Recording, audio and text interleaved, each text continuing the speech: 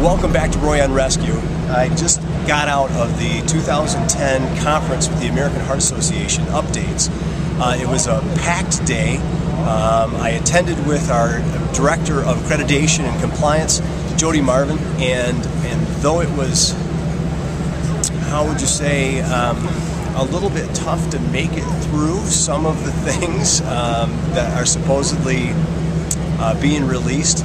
There was some good science. It definitely helped me get my head wrapped around compression only CPR for the first five minutes of cardiac arrest outside of hospital and how that's going to help revive people, how it's going to help resuscitation uh, with advanced life support.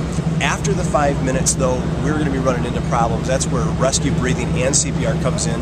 However, this was very, very productive for today. Helps me understand once again um, the benefits that we bring you as Pro CPR as an independent training company, uh, the whole Pro Trainings family. Uh, it's been a, a, good time out here in Chicago.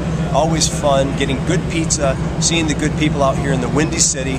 But until next time, we'll talk to you about other good topics in Roy on Rescue. Uh, thanks for your patience this week as the 2010 rollout came to an end. Uh, we're excited to implement that really soon and get back on track with our normal scheduled programming. Until next time, keep on rescuing. This is Roy with Roy on Rescue. Have a great day.